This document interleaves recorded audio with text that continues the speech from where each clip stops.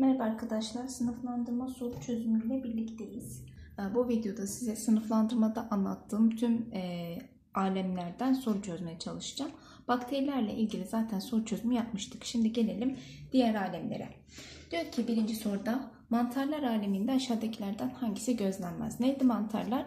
Bazı özellikleri bakımından bitkilere, bazı özellikleri bakımından da hayvanlara benziyorlardı. Mesela hücre duvarı bulunuyor. Bu bitkiye benzeyen özelliği. Toprağa yapışık olarak yaşayabilenler vardı. Bu yine bitkiye benzeyen özelliği. Hayvanlara benzeyen özelliğine geldiğimizde depopolisakkariti glikojen mesela bu hayvanlara benziyor. Heterotrof besleniyor. Bu yine hayvanlara beslen, be, benziyor arkadaşlar. Bakalım diyor ki heterotrof beslenme. Evet mantarlar aleminde görülür. Besinlerini hazır olarak alırlar. O yüzden bu mantarlarda görülen bir özellik. Metagenez ile çoğalma. Metagenez neydi? Hatırlayalım metagenezi. Eşeyli üremenin eşeyli ve eşeysiz üremenin eşeysiz üremenin birbirini takip etmesiydi değil mi? Birbirini takip etmesi. Mantarlarda bu olay gözlenir arkadaşlar. Dolayısıyla doğrudur. Spor oluşturma. Mantarlar zaten sporla çoğalan canlılardır. O yüzden bu da doğrudur. Saprofit yaşam. Saprofit ne demekti? Çürükçül yani dışarıdaki atıklardan beslenmekte. Mantarların bazı türleri saprofit yaşayabilir arkadaşlar. Bu da doğrudur. Kambiyum ile enine kalınlaşma. Kambiyum ile enine kalınlaşma olayı kimde görülüyor? Bitkilerde, mantarlarda yoktur. Cevabımız E şıkkı olur. Geçelim ikinci sorumuza. Diyor ki bitkiler alemindeki bütün canlılar için hangileri ortaktır? Bütün bitkileri düşüneceğiz arkadaşlar. Ortak olanına bakacağız. Ökaryot hücre yapısına sahip olma. Bakın bitkiler ökaryot hücre yapısına sahiptir. O zaman tüm bitkiler için ortak. Çok hücreli olma. Tek hücreli bitki yoktur arkadaşlar. Dolayısıyla çok hücreli olma da bitkilerin ortak özelliğidir. Gerçek çiçek ve tohum taslaklarına sahip olma. Bakın tohum olayı tohumlu bitkilerde vardır. Dolayısıyla bu olmaz. Gerçek kök ve yapraklara sahip olma.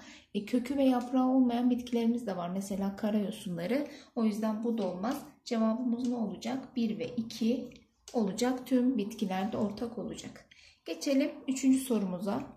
Açık tohumlu bitkilerde hangileri gözlenir? Açık tohumlu bitki dediği zaman aklınıza çam gelsin. Çama bakarak arkadaşlar e, sorunuzu cevaplayın. Çok çeneye sahiptirler.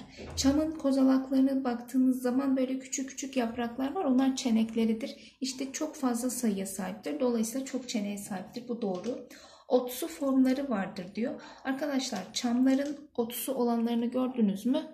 Yok değil mi? Tamamen ağaç formudur. O yüzden bu yanlış.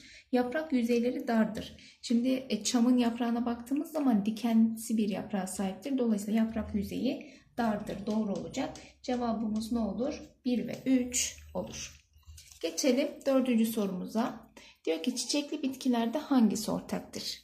Arkadaşlar Çiçekli bitkilere baktığımızda diyor ki otsu yapıda olma. Şimdi çiçekli bitkiyi düşünün. Mesela bir elma ağacı çiçek açıyor ama odunsu formdadır. O zaman bu olmaz.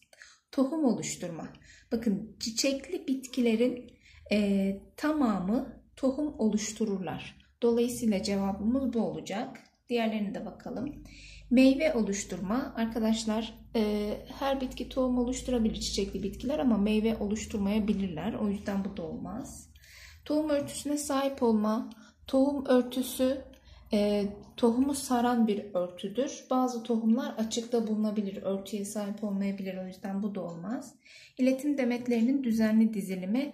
Arkadaşlar çiçekli bitkilerin otsu formları da vardır. Dolayısıyla e, iletim demetleri düzenli dizilmeyebilir. O yüzden bu da olmaz. Mesela tek çenekli, çift çenekliler var. Tek çeneklilerde iletim demetleri düzenli değildir. O yüzden bunu almıyoruz. Cevabımız ne olacak? B şıkkı olacak. Geçelim diğer sorumuza. Beşinci sorumuz diyor ki aşağıdakilerden hangisi solucanlar ve sürüngenler sınıfına giren bütün canlılar için ortak değildir? Şimdi solucanlar neydi? Omurgasız canlılar değil mi? Sürüngenler nedir? Omurgalı canlılar.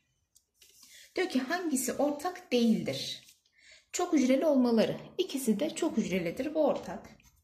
Akciğer solunumu yapmaları. Arkadaşlar omurgalılar akciğer solunumu mesela sürüngenler akciğer solunumu yapar ama omurgasızlar trake solunumu. Yani solucanlar trake solunumu yapıyor. O yüzden bu ortak değil.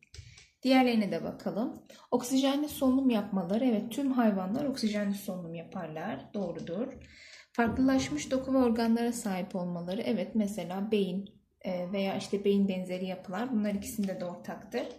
Heterotrof olmaları yani besinlerini hazır almaları. Evet hayvanlar genellikle besinlerini hazır alırlar arkadaşlar. Bu da ortaktır. Ortak olmayan ne? Akciğer solunumu yapmaları.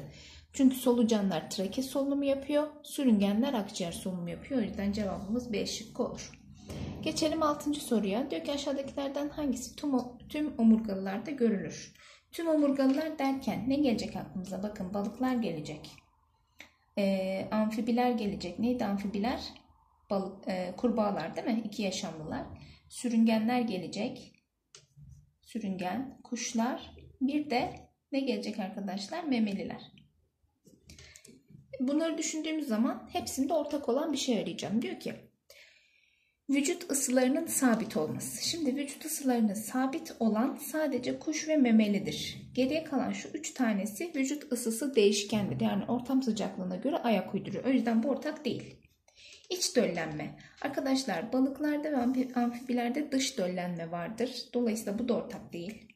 Akciğer solunumu. Bakın amfibi, sürüngen, kuş ve memeli akciğer solunumu yapabilir ama balık Balık ne yapacak? Solungaç solunumu yapacak. O yüzden bu da ortak değil. İç iskelete sahip olma. Şimdi balığa baktığımız zaman balığın iç iskeleti var. Kurbağanın, sürüngenin, kuşun ve memelilerin tamamının iç iskeleti var. Yani dışarı, dışlarında bir kabuk yok. Dolayısıyla iç iskelete sahip olma ortaktır hepsinde. Boşaltım ürünü olarak üre oluşturma. Üreyi oluşturan memeliler ve amfibilerdir. Balıklar amonyak oluşturur. Amonyak e, sürüngen ve kuşlar ise arkadaşlar ürik asit oluşturur. Dolayısıyla bu da ortak değil. Ortak olan hangisi? İç iskelete sahip olma olacak. Geçelim 7. sorumuza. Şöyle soruyu göstereyim size. Evet diyor ki omurgalı iki hayvanın çevre sıcaklığına bağlı olarak vücut sıcaklıklarının zamana bağlı değişimi verilmiştir. 2 numara neymiş? Çevre sıcaklığını temsil ediyor. Bakın çevre sıcaklığı sürekli değişiyor. 1 numara sabit kalmış. Ama 3 numara değişmiş. O zaman 1 numara nedir? Sıcak kanlıdır. Sıcak kanlı vücut ısısı sahip, sabit. 3 e, numara ise nedir? Soğuk kanlı yani vücut ısısı değişken. Peki sıcak kanlı canlılar hangileriydi? Soğuk kanlılar hangileriydi omurgalılarda? Sıcak kanlılar kuşlar ve memeliler. Yazalım hemen buraya. Kuş, memeli. Bunlar sıcak kanlı. Geriye kalan balık, amfibi, Sürüngenleri ise soğukkanlıdır. Diyor ki bir nolu canlının bir nolu canlı kapalı kan dolaşımına sahiptir. Hangileri kesinlikle doğrudur diye soruyor bu arada. Bir de kesinlik arayacağız. Bir nolu canlı kapalı dolaşıma sahiptir. Şimdi bire bakıyorum. Kuş ve memeli. İkisi de kapalı dolaşıma mı sahip? Evet. O zaman bu kesin.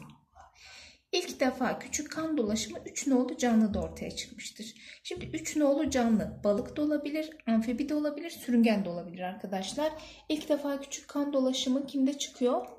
Balıklarda çıkıyor. Ama bize burada 3'ü de olabildiği için kesinlik veremiyoruz. O yüzden gitti. Bir nolu canlının olgunlaşmış al yuvarları çekirdeksizdir. Çekirdeksiz olanlar memelilerdir. Ama bir nolu canlı kuş da olabilir, memeli de olabilir. Kesin bir şey söyleyemediğim için bunu da almıyorum. Cevabımız ne oluyor? Yalnız bir oluyor arkadaşlar. Geçelim bir sonraki sorumuza. Sekizinci sorumuz. Diyor ki bazı e, bir canlı grubuna ait bazı genel bilgiler şunlardır. Bu canlı grubu ile ilgili hangileri doğrudur? Şimdi vücut sıcaklıkları sabit. Vücut sıcaklığı sabit olan kimler var? Kuş, memeli var. İkisinden biri olacak. Sinir sistemleri çok gelişmiş. Buna bakarak belki çıkaramayabilirim. Derileri kıllarla örtülü. İşte bakın kıl gördüğümüz yerde aklımıza ne gelecek? Memeliler gelecek. O zaman bu canlı kesinlikle nedir? Memelidir. Kuş olamaz. Memelilerle ilgili olan özelliklere bakıyoruz. Akciğerlerinde alveol bulunur. Doğru. Kaslı diyaframa sahiptir. Doğru arkadaşlar. Kalpleri 3 odacıklıdır demiş. Memelilerde kalp kaç odacıklı? 4 odacıklı. O yüzden bu yanlış. Kalplerinde karışık kan bulunur demiş. Hayır, memelilerde ve kuşlarda kan birbirinden ayrılıyor. Karışık kan bulunmuyor. O zaman cevabımız ne olacak? 1 ve 2 olacak. Geçelim 9. sorumuza. Diyor ki aşağıda X grubunda yer alan canlıların sınıflandırılmaları gösterilmiştir. Buna göre hangileri doğrudur? Şimdi bakın hayvanlar, omurgalılar, memeliler, etçiler, kedigiller. Bakın hayvanlar alemi. Burası alem. Alemden sonra ne geliyor? Şube. Sonra sınıf, sonra takım, sonra aile geliyor arkadaşlar. Aileden sonra ne geliyor? E, cins geliyor değil mi? Cins. Cins ve tür. Şimdi ikisinden biri de olabilir. Diyor ki aslan ve kaplanlar bu grupta yer alabilir. Aslan ve kaplanlar kedigiller grubunda mı? Evet. O zaman X grubunda yer alabilir. Doğru arkadaşlar. X grubu içinde incelenen tüm canlılar birbirleriyle çiftleştiklerinde verimli döller verirler. Bakın verimli döl verebilmesi için aynı tür olması lazım. Burada cins de olabilir, tür de olabilir. Ki tür olursa aynı tür olup olmayacağını bilemiyoruz arkadaşlar. O yüzden bu yanlıştır. X grubu içinde yer alan tüm canlılar holozoik beslenir. Holozoik beslenme demek katı beslenme demek. Şimdi düşünün aslanları, kedileri yani kedigiller familyasının tamamını düşündüğümüz zaman ne oluyor? Hepsi katı beslenen canlılardır. O zaman 3 de doğru. Cevabımız ne olur? 1 ve 3 olur. Geçelim. Son iki sorumuz kaldı. Bize bir tablo vermiş. Tabloda X, Y, Z canlılarını vermiş. Bu canlıların eşleştirmesini istiyor. Ona göre de ne yapacağız? Yorumları okuyacağız. Şimdi bakıyorum. X'in 4 tane odacığı varmış kalbinde. 4 odacıklı olan kimler vardı arkadaşlar? Kim vardı?